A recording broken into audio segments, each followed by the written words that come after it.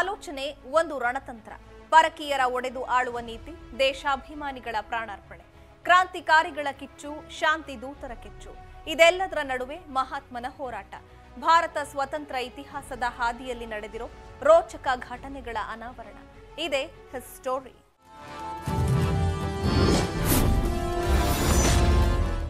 ದೇಶ ವಿಭಜನೆ ದುರಂತ ಕಥೆಯಲ್ಲಿ ಪಾತ್ರಧಾರಿಗಳು ತುಂಬಾ ಮಂದಿ. ಇದರಲ್ಲಿ ಪ್ರಮುಖ ಪಾತ್ರಧಾರಿ ಮುಸ್ಲಿಂ ಲೀಗ್. ಲೀಗ್ ಹುಟ್ಕೊಂಡಿದ್ದ ಉದ್ದೇಶವೇ ಬೇರೆ. ಕೊನೆಗೆ ಅದು ಮಾಡಿದ್ದೇ ಬೇರೆ.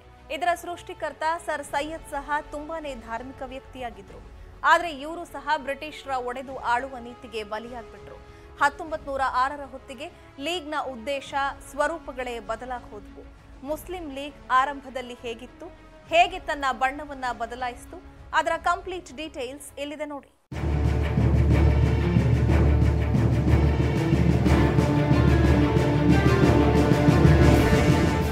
ಭಾರತದ ಸ್ವಾತಂತ್ರ್ಯ ಹೋರಾಟದಲ್ಲಿ ಇಂಡಿಯನ್ ಪಾರ್ಟಿಷನ್ ಅನ್ನೋದೊಂದು ಕರಾಳ ಅಧ್ಯಾಯ. ಅಲ್ಲಿ ನಮ್ಮ ನಾಯಕರ ಅಧಿಕಾರ ಲಾಲಸೆ, ಮುಸ್ಲಿಂ ಲೀಗ್ನ ಕುತಂತ್ರ, ಬ್ರಿಟಿಷರ ಒಡೆದು ಆಳುವ ನೀತಿ ಮತ್ತು ಈ ದೇಶದ ಅಮಾಯಕ ಮುಸಲ್ಮಾನರ ಶೋಷಣೆಯಂಥ ಕಥೆಗಳಿಂದಲೇ ನೂರಾರು ಪುಟಗಳು ತುಂಬಿ ಹೋಗಿವೆ.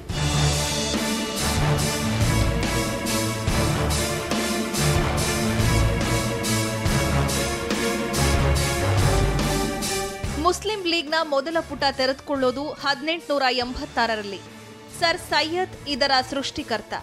ಇದು ಶುರುವಾದಾಗ ಅದ್ಭುತ ಉದ್ದೇಶಗಳನ್ನೇ ಹೊಂದಿತ್ತು. ಎಲ್ಲ ಮುಸ್ಲಿಮರಿಗೂ ಉನ್ನತ ಶಿಕ್ಷಣ ಸಿಗಬೇಕು, ಬಡ ಮುಸ್ಲಿಮರ ಜೀವನ ಮಟ್ಟ ಸುಧಾರಿಸಬೇಕು, ವಿಶೇಷವಾಗಿ ಮುಸ್ಲಿಂ ಹೆಣ್ಣು ಮಕ್ಕಳಿಗೆ ಶಿಕ್ಷಣ ಸಿಗಬೇಕು ಅನ್ನೋದು ಲೀಗ್ನ ಆರಂಭಿಕ ಉದ್ದೇಶ ಆಗಿತ್ತು. ಬಹಳ ಪ್ರಮುಖವಾಗಿ ವಿದ್ಯಾಭ್ಯಾಸದಲ್ಲಿ ಇಂಗ್ಲಿಷಿಂದು ಇಂಗ್ಲಿಷ್ ಮಾಧ್ಯಮದ್ದು ಪಾತ್ರ ಜಾಸ್ತಿ ಇತ್ತು. ಹಾಗಾಗಿ ಮುಸಲ್ಮಾನರಲ್ಲಿ ಕೆಲವು ಬುದ್ಧಿಜೀವಿಗಳೇನು ಮಾಡಿದ್ರು, ಇಂಗ್ಲಿಷ್ ವಿದ್ಯಾಭ್ಯಾಸದಿಂದ, ಆಧುನಿಕ ವಿದ್ಯಾಭ್ಯಾಸದಿಂದ ಮಾತ್ರ ನಾವು ಮೇಲಕ್ಕೆ ಬರೋದಕ್ಕೆ ಸಾಧ್ಯ ಅಂತ ಅನ್ನೋದನ್ನ ನಾವು ಗಮನಿಸಿದ್ರು ಅದನ್ನ. ಹೌದು. ಇಂಗ್ಲಿಷ್ ಶಿಕ್ಷಣದಿಂದ ಮಾತ್ರ ಮುಸ್ಲಿಮರ ಏಳಿಗೆ ಸಾಧ್ಯ ಅನ್ನೋದು ಲೀಗ್ ಸ್ಥಾಪಕ ಸರ್ ಸೈಯದ್ ಅಹಮದ್ ಖಾನ್ರ ನಂಬಿಕೆ ಆಗಿತ್ತು. ಸರ್ ಸೈಯದ್ರ ಇದೇ ನಂಬಿಕೆ ಆಲಿಘಡ್ ಮುಸ್ಲಿಂ ವಿಶ್ವವಿದ್ಯಾಲಯ ಸ್ಥಾಪನೆಗೆ ನಾಂದಿ ಹಾಡಿತು. ಮುಸ್ಲಿಮರಿಗೂ ಉನ್ನತ ಶಿಕ್ಷಣ ಸಿಗಬೇಕು ಅನ್ನೋ ಕನಸು ಹೊತ್ತು ಹದಿನೆಂಟುನೂರ ಎಪ್ಪತ್ತೈದರ ಮುಸ್ಲಿಂ ವಿವಿಯನ್ನ ಸರ್ ಸೈಯದ್ ಅಹಮದ್ ಖಾನ್ ಶುರು ಮಾಡಿದ್ರು. ವಿಶೇಷ ಅಂದ್ರೆ ಈ ವಿವಿ ಸ್ಥಾಪನೆಗೆ ಹಿಂದೂಗಳು ಸಹ ಲಕ್ಷಾಂತರ ರೂಪಾಯಿ ದೇಣಿಗೆ ನೀಡಿದ್ರು.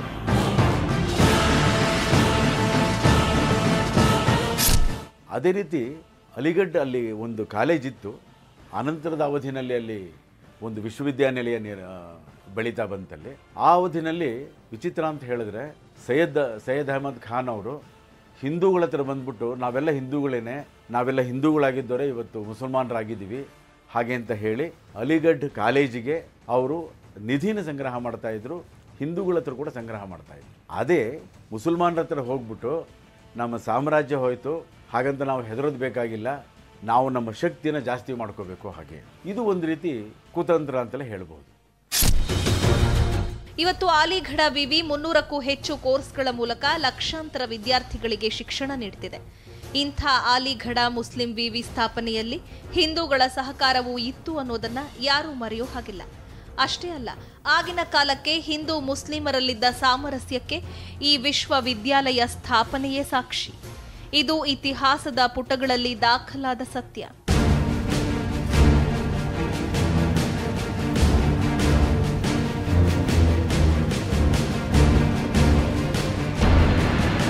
ಇನ್ನು ಆರಂಭಿಕ ದಿನಗಳಲ್ಲಿ ಮುಸ್ಲಿಂ ಲೀಗ್ ಸ್ಥಾಪಕ ಸರ್ ಸೈಯದ್ ಖಾನರೇನು ಕಟ್ಟರ್ ಮತೀಯವಾದಿಯಾಗಿರಲಿಲ್ಲ.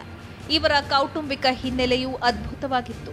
ಇವರ ತಾತ ಮುತ್ತಾತಂದಿರು ಮೊಘಲ್ ದೊರೆಗಳ ಆಸ್ಥಾನದಲ್ಲಿ ಉನ್ನತ ಹುದ್ದೆಯಲ್ಲಿದ್ದವರು. ಸರ್ ಸೈಯದ್ ಖಾನ್ ಸಹ ಕುರಾನ್ ಮತ್ತು ವಿಜ್ಞಾನ ಎರಡನ್ನೂ ಸಮವಾಗಿ ಒಪ್ಪಿಕೊಂಡಿದ್ದವರು.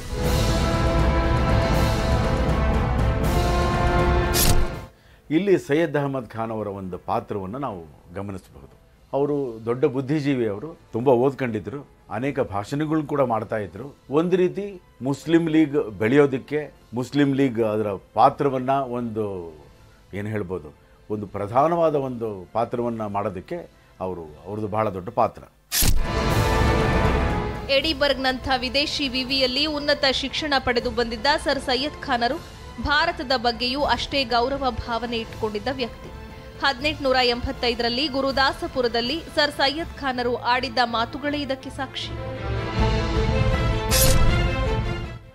ಈ ದೇಶದಲ್ಲಿ ಹಲವು ಜಾತಿ ವೈಶಿಷ್ಟ್ಯತೆಗಳಿದ್ರೂ ಶತಮಾನಗಳಿಂದ ಇದೊಂದು ದೇಶ ಅನ್ನೋ ನಂಬಿಕೆ ಇದೆ. ಇಲ್ಲಿ ಹಿಂದೂಗಳು, ಮುಸ್ಲಿಮರು ಅಣ್ಣ ತಮ್ಮಂದಿರಿದ್ದಂತೆ. ನಮಗೆ ಹಿಂದೂಸ್ತಾನ ಬಿಟ್ರೆ ಬೇರೆ ದೇಶವಿದೆಯೇ? ಜಾತಿ, ಧರ್ಮ ಬೇರೆ ಬೇರೆಯಾದರೂ ನಾವೆಲ್ಲ ವಾಸಿಸೋ ಭೂಮಿ ಒಂದೇ. ಸತ್ತಾಗ ಒಂದೇ ಭೂಮಿಯಲ್ಲಿ ಹೂಳಲ್ಪಡೋದು. ಹಿಂದೂ ಮುಸ್ಲಿಂ ಎನ್ನುವುದು ಕೇವಲ ಮತ ಭಿನ್ನತೆಗಳಷ್ಟೇ.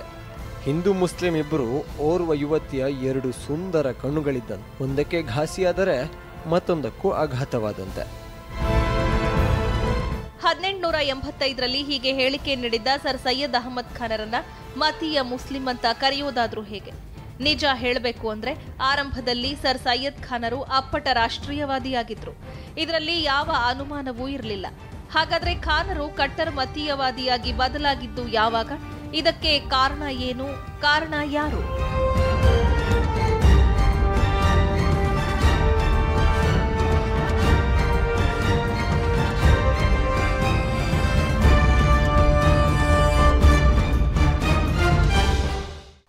ಸೈಯದ್ ಖಾನರ ರಾಷ್ಟ್ರೀಯವಾದಿ ಮನಸ್ಸಿಗೆ ಹುಳಿ ಹಿಂಡಿದ್ದು ಓರ್ವ ಬ್ರಿಟಿಷ್ ಅಧಿಕಾರಿ.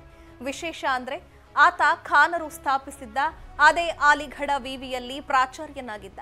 ಇಷ್ಟಕ್ಕೂ ಆಲಿಘಡ ವಿವಿಗೆ ಒಕ್ಕರಿಸಿದ್ದ ಆ ಬ್ರಿಟಿಷ್ ಪ್ರಾಧ್ಯಾಪಕ ಯಾರು ಅನ್ನೋದನ್ನ ನೋಡೋಣ. ಚಿಕ್ಕ ಬ್ರೇಕ್ನ ನಂತರ.